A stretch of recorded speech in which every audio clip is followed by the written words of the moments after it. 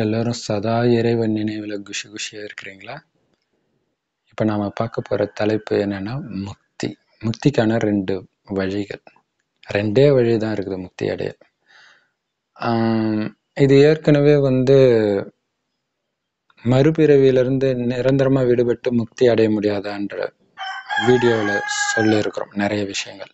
So அதோடைய தொடர்ச்சின்னு கூட இதை சொல்லலாம். இப்போ முக்தி அடையிறதுக்கு ரெண்டு வழி தான் இருக்குது. ஏன்னா எல்லாருக்குமே அந்த முக்தி வந்து ஒரு மிகப்பெரிய லட்சியம். பல ஜென்மமாக நம்ம அதுக்காக முயற்சி செஞ்சு செஞ்சு செஞ்சு செஞ்சு செஞ்சு ஏமாந்து தான் வந்திருக்கிறோம். யாருமே முக்தி அடையவே இல்லை. ஏன்னா முக்தி வந்து நம்ம நினைக்கிற மாதிரிலாம் அடைய முடியாது. நம்ம இஷ்டத்துக்கெல்லாம் அடையவும் முடியாது. அதுக்குன்னு டைம் வந்தால் தான் முடியும். ஆனால் எல்லோருக்கும் ஒரே டைமில் தான் முக்தி கிடைக்கும். ஓ வள்ளலார் பயங்கரமாக முயற்சி பண்ணார். அவர் தனியாக முக்தி அடைஞ்சார் இயேசு அடைஞ்சார் மகாவீரர் அடைஞ்சார் புத்தர் அடைஞ்சார் யாரும் அடையல. எல்லாம் மறுபிறவி எடுத்து இங்கே தான் சுற்றிட்டு இருக்கிறாங்க. ஏன்னா அது வந்து ஏற்கனவே அதில் சொன்ன மாதிரி தாயின் கர்ப்பத்திலேருந்து குழந்தை வெளியே வந்துடுச்சுன்னா அது இஷ்டத்துக்கெல்லாம் போய் இன்னொரு தாயின் கர்ப்பத்தில் போய் பிரவேசிக்க முடியாது. துக்கம் அதிகமாக இருக்குதுன்ட்டு. வாழ்ந்து தான் ஆகணும் அனுபவிச்சு தான் ஆகணும்.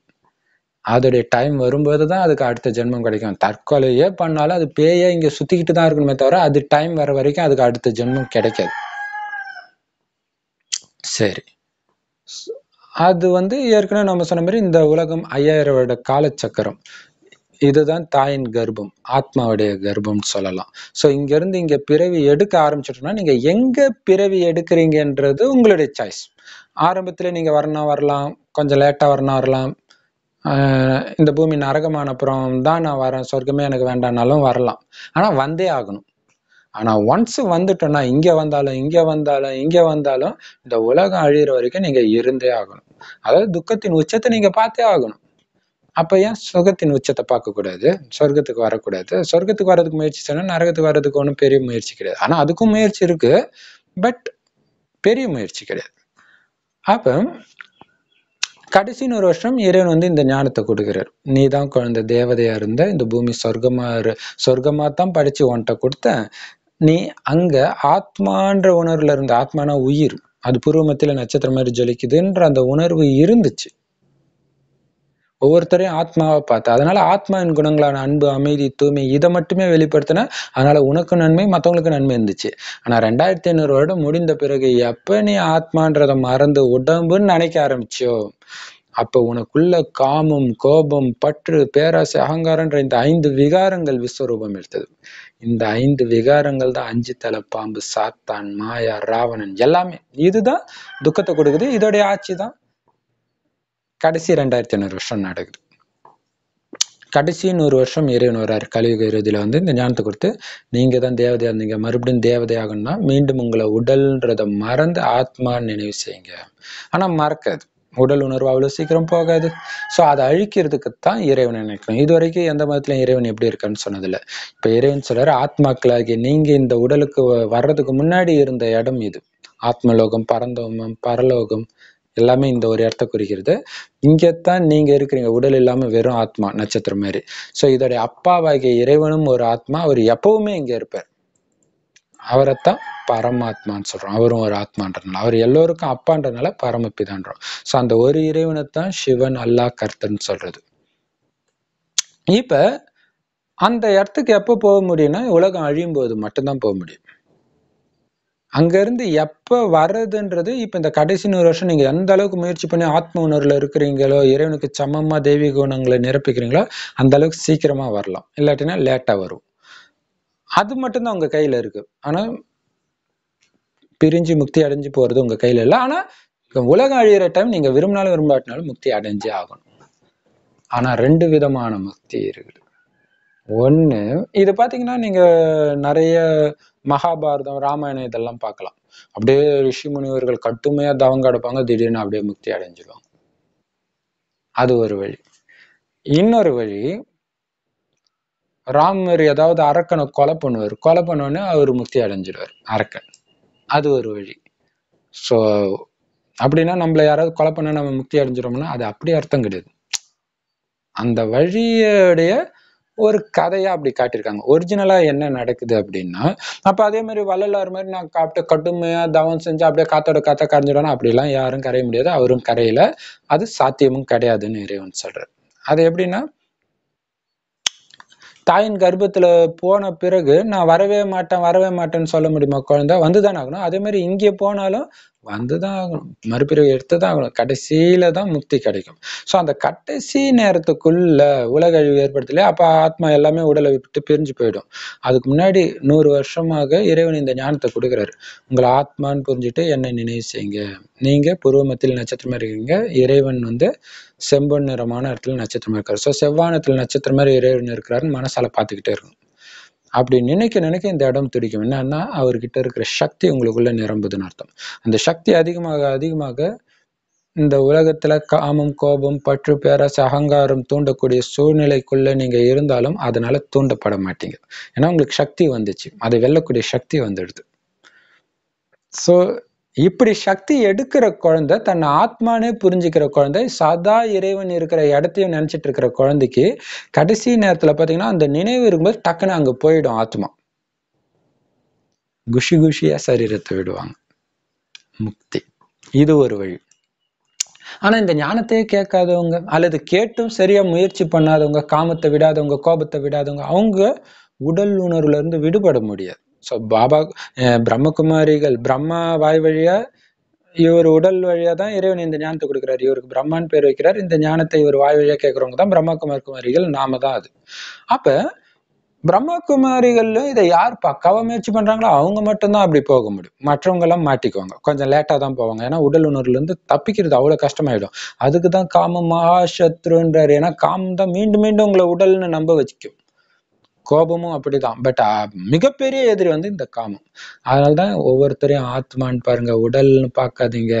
காருக்குள்ள இருக்கிற டிரைவரை தானே பாக்குறீங்க காரை பார்க்க மாட்டீங்களா? அந்த மாதிரி உடம்புன்ற காரை இயக்க வந்த டிரைவர் ஆத்மான்னு தன்னை உங்களை புரிஞ்சுக்கோங்க. நான் ஆத்மா உள்ள இருக்கிறேன். இந்த உடலை கொஞ்ச நாள் தான் இருப்பேன். இறைவன் கூப்பிட்ட உடனே போயிடுவேன். அப்படின்னு அந்த பயிற்சி பண்ணிக்கிட்டே இருக்கிறோம். ஸோ அப்போ முக்தி கிடைக்குது. இன்னொரு வகையான முக்தி எப்போ கிடைக்கும்னா உடல் உணர்வே விட முடியாது. அடப்பாப்பா உலகம் வரும் அழியும் போது பாத்துக்கிறோன்னுவாங்க. இப்ப இந்த ஞானத்தை சொன்னா. எல்லாரும் தானே அழிவாங்க அப்ப பாத்துக்கிறோன்னுவாங்க. அவங்கள தான் சாகும்போது சங்கரா சங்கரான்னு ஒரு நக்கல் பாஷை சொல்லுவாங்க தெரியுமா? அது அவங்கள தான் குறிக்கிறது. கடைசி நேரத்துல முக்தி அடையணும்னு நினைச்சாலும் அவங்களால முடியாது இல்லையா? திடீர்னு போய் ஆஹ் உலகம் அழியும் போது நான் ஆத்மான்னு அவங்க எப்படி பயிற்சி பண்ணுவாங்க? ஸோ அப்போ அதாவது அங்க அணுகுண்டு போட்டு உலகம் அழிஞ்சு உடல்ல இருந்து ஆத்மா வெளியே வந்தாலும் மேல போவாது இங்கேயே பேயா சுத்தும். அல்லது அங்க இருக்கிற ஏதாவது ஒரு கர்ப்பத்துக்குள்ள பூந்துக்கும். அல்லது மனிதர்களுக்குள்ள பூந்துக்கும். ஒரு ஒரு உடம்புக்குள்ள ஒரு இன்னொரு ஆத்மா பூந்துச்சுன்னா பேயினுவோம். ஆனா ஒரு உடம்புக்குள்ள ஐம்பது அறுபது ஆத்மா பூருமா கடைசி நேரத்துல. அப்ப எப்படி இருக்கும் பாருங்க. ஒண்ணு ஒன்னும் அதோடைய ஆசையை தீர்த்துக்க ட்ரை பண்ணும். பயங்கரமா தானும் துக்கத்தை அனுபவிச்சு மத்தவங்களுக்கும் துக்கம் பழி வாங்குற குணம் அதெல்லாம் மோசமா இருக்கும். காமம் எல்லாம் பயங்கரமா விஸ்வரூபம் எடுத்து ஆடும். சோ ஆனா அதுக்கு திருப்தி ஆகாது. ஏன்னா காமத்துல போய் யாரால திருப்தி அடைய முடியுமா? கோபத்துல திருப்தி அடைய முடியுமா? சோ இதுதான் உடல் உணர்வு. திருப்தியாக அடைய முடியாது. ஆனால் இது எல்லாத்தையும் விட்டுட்டு ஆத்ம உணர்வில் இருந்தாலே அனைத்தும் நிரம்பிய நிலை இருக்கும். ஆனால் அது தெரியாத காரணத்தினால மனிதன் என்ன பண்ணான் இதை சேர்த்துக்கணும் அதை சேர்த்துக்கணும் இந்த நபரை என்னுடையவராக்கணும் இப்படியே இந்த நாட்டை பிடிக்கணும் இந்த சொத்தை அடையணும் இப்படியே அலைஞ்சு அலைஞ்சு தானும் நிம்மதி இழந்து மற்றவர்களையும் நிம்மதி இழக்க வைக்கிறான். ஸோ அது முடியவே முடியாதுன்னு அவங்களுக்கு கடைசியில் தெரியும். இருந்தாலும் உடல் உணர்வுல இருந்து அவங்களால தப்பிக்கவே முடியாது. சோ அப்பதான் அந்த வேதனை தான் அவங்க இதுக்கு முன்னாடி ஜென்மத்துல செஞ்ச பாவத்துடைய தண்டனை எல்லாம். அப்படி துடிப்பாங்க. வெட்டு குத்து ரத்த ஆறு ஓடுன்றாரு இறைவன் கடைசியில. எல்லா மதத்திலுமே அது சொல்லப்பட்டிருக்கு.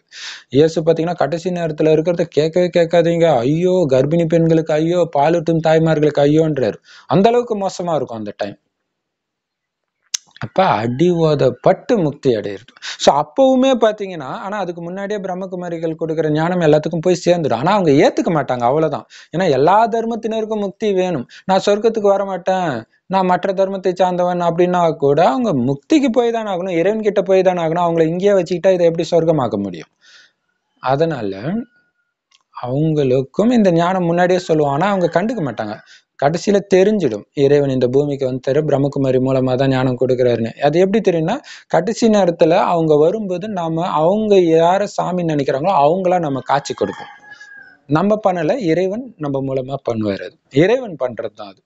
ஸோ அப்ப கண்ணு உதாரணத்துக்கு ஒரு கிறிஸ்தவ சகோதரர் இருக்கிறாருன்னா இயேசுவா நான் தெரிஞ்சேன்னா உடனே அப்படியே ஐயோ இவர் சொன்னதுதான் உண்மை நான் இவ்வளோ நேரம் நம்பலேன்னு அப்பதான் நம்ப ஆரம்பிப்பார். அப்பவும் நாம என்ன பண்ணுவோம்னா ஆத்மான்னு புரிஞ்சு இறைவன் நினைங்க அப்பதான் போக முடியும்னா அப்ப பண்ணுவாங்க. ஸோ அந்த நேரம் இறைவனை நினைப்பாங்க. அப்ப அதுவும் எப்படின்னா அந்த நேரம் பக்காவா இருக்கிற பிரம்மகுமாரிகள் முன்னாடி வரும்பொழுது அவங்க முழுக்க முழுக்க ஆத்ம உணர்வில் இருந்து அவங்கள பார்க்கும்போது அவங்களுக்கும் ஒரு வைராக்கியம் வரும். ஏன்னா அந்த அமைதி இவங்க இந்த பிரம்மகுமாரிகளை சுத்தி அமைதி இருக்கிறத அவங்க அனுபவம் பண்ணுவாங்க. எப்படி கடுமையான வெயிலில் தான் நிழலோட அருமை தெரியும். மற்ற நேரத்துல தெரியாது. அந்த மாதிரி தான் கடுமையான துக்கம் வரும்போது தான் அந்த பிரம்மகுமாரி கிட்ட வரும்போது அவங்கள சுத்தி அந்த அமைதியின் அதிர்வலைகள் பரவுறது அவங்களுக்கு தெரியும். ஏன்னா அமைதிக்காக துடிச்சிட்டு இருப்பாங்க. எங்கேயுமே அமைதி கிடைக்கலாம் அப்படி கிட்ட வந்தோடனே அந்த அமைதி தெ- கிடைக்கும். அப்படியே சாந்தமாகி நீங்க எது சொன்னாலும் கேட்க தயாரா இருப்பாங்க. அப்ப சொல்லுவோம் உங்களை ஆத்மான்னு புரிஞ்சு பரமாத்மா நினைவு செய்யுங்க. நட்சத்திரம் மாதிரி நினைவு செய்யுங்க. ஒரு செகண்ட் நினைப்பாங்க. அந்த ஒரு செகண்ட் அந்த ஆத்மாவுக்கு உடல் உணர்வு வராம இருக்கிறதுக்கான சக்தியை நீங்க தான் கொடுப்பீங்க. உங்களுடைய அமைதியின் சக்தியின் மூலமாக பிரம்மகுமாரிகள். அதை கொடுக்கும்போது ஒரு செகண்ட் வைராக்கிய உள்ளுணர்வுல இறைவனை நினைக்கும் டக்குன்னு போயிடும். ஸோ இப்படி முக்தி. ஆனா இதெல்லாம் எப்படி? நல்ல அடி உதையெல்லாம் வாங்கினதுக்கு அப்புறம் தண்டனையெல்லாம் அனுபவிச்சதுக்கு அப்புறம்.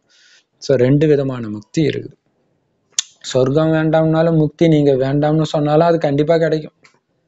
எப்படி முக்தி அடையிறீங்கன்றது உங்க சாய்ஸ் குஷி குஷியா சரீரத்தை விடுறதுக்கு தயாரா இருக்கிறோமா? இல்ல அடி உத வாங்கி தண்டனை அனுபவிச்சுட்டு போக தயாரா இருக்கிறோமா? அப்படின்னு இறைவன் கேட்கிறார் ஓம் சாந்தி. இறைவன் கொடுக்குற ஞானத்தை எடுத்து சொர்க்கம்ன்ற சுகத்தை அனுபவிக்கிறது தான் புத்திசாலித்தனம். துக்கம் வரும்போது அதை பார்த்துக்கலாம். ஆனா சுகம் வர்றதை யாராவது அலட்சியமா இருப்பாங்களா? ஸோ அவசியம் நம்ம சத்தியுக சொர்க்கத்துக்கு வரணும். அதுக்கு பிரம்மகுமாரிகள் மூலமாக இந்த ஞானத்தை எடுக்கணும். உலகத்துல எல்லா மூலையிலும் பிரம்மகுமாரி சென்டர் இருக்கு. முழுக்க முழுக்க ஃப்ரீ என நடத்துறது இறைவன். மனிதர்கள் நடத்தல பிரம்மகுமாரி இயக்கத்தை. ஸோ இறைவனே நடத்துறதுனால தன்னுடைய குழந்தைங்களுக்கு ஒரு பைசா காசு வாங்காம உலகத்தின் அதிபதியாக்குறாரு. ஸோ இது நம்மளுடைய பிறப்புரிமை. ஏன்னா நாம தான் அப்படி இருந்தோம். இல்லையா? நம்ம சொத்தை ஏமாத்தி வாங்கிட்டான் ராவணன். மீண்டும் அதை அடையணும். அதுக்காக முயற்சி செய்யுங்க. முக்கியமான முயற்சி உங்களை ஆத்மான்னு புரிஞ்சு இறைவனை சாதா நட்சத்திரம் மாதிரி நினைச்சுக்கிட்டே இருக்கிறது. அவரோட பேசிக்கிட்டே இருக்கணும். அவர்கிட்ட என்ன பேசுறது? அவர் என்ன பேசுவார்னு தெரிஞ்சா தானே பேசுவீங்க? அவர் பேசுறது தான் பிரம்மகுமாரி சென்டர்ல முரளி அப்படின்னு அந்த ஞானத்தை சொல்லுவோம். அந்த முரளி வந்து தனியா வேற ஒரு யூடியூப் சேனல்ல போடுறோம். அதோட லிங்க்கு இந்த வீடியோ டிஸ்கிரிப்ஷன் கீழே இருக்கும். அப்படி இல்லாதனால பிகே சரவணகுமார் தமிழ் முரளின்னு போட்டிங்கன்னா அது வரும். டேட்டாக வரும். ஃபர்ஸ்ட் ஜூலை செகண்ட் ஜூலை அந்த மாதிரி. ஸோ அந்த முரளி அவசியம் பாருங்க. பிரம்மகுமாரி சென்டருக்கும் போங்க. ஓம் சாந்தி. தேங்க்ஸ் ஃபார் வாட்சிங் இது ரொம்ப ரொம்ப முக்கியமான செய்தி இது. ஸோ அவசியம் அனைவருக்கும் தெரியப்படுத்துங்க. எல்லோரும் கும்பகர்ண உறக்கத்தில் இருக்கிறாங்க. அவங்கள எழுப்ப வேண்டியது நம்ம அனைவருடைய கடமை. ஓம் சாந்தி.